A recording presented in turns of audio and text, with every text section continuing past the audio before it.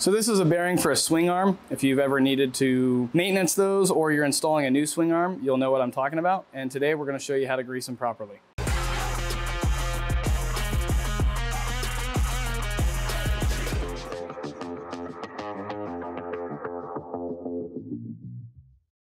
So just reach into your average tube that's for a grease gun and just get a nice handful of it, palm it into your hand.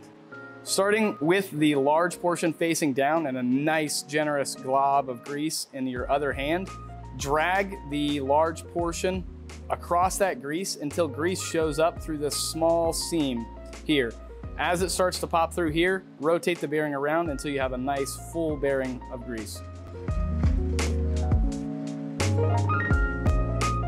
There you go. You can kind of see it happening here on this end. And as that happens, just rotate the bearing and keep taking that grease out of the center so that you can refeed it in where you need it.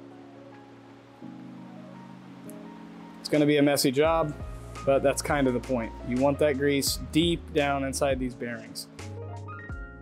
Once you see that you've got a nice ring of grease all throughout the bearing, you should be good to set this thing on.